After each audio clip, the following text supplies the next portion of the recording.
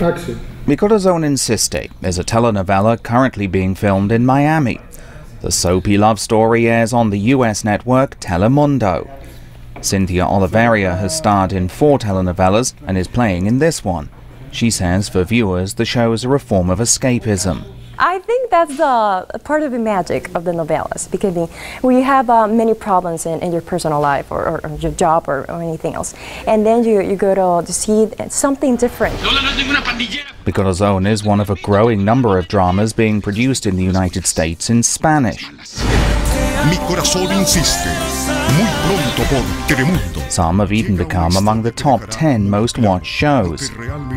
Media analyst Adam Jacobson says census figures show that Hispanics account for 16% of the US population, and their numbers account for the growth in Spanish language TV. Hispanic population today is really being fueled by US births we still see that even though there are people that are speaking English mainly, if they do speak some Spanish, they are going to tune into some Spanish language television. No. Telemundo used to import most of its telenovelas. Now it's making many of its own.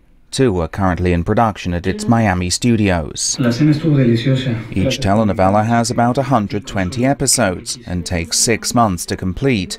Mi Corazón Insiste's director is Leonardo Galaviz. He says even though subtitles are sometimes offered, people who speak only English have not, for the most part, embraced telenovelas. Americans, they, they have a different culture, they have a different approach to television their prime time shows are like series. For us, we don't have series, so what we have is soap operas. Nevertheless, telenovelas are often the most popular shows in America with young adults, a coveted demographic. Kantar Media, a research company, says Hispanic TV advertising totaled $5.3 billion in 2010, up almost 11% from 2009 and outpacing growth in other types of commercials.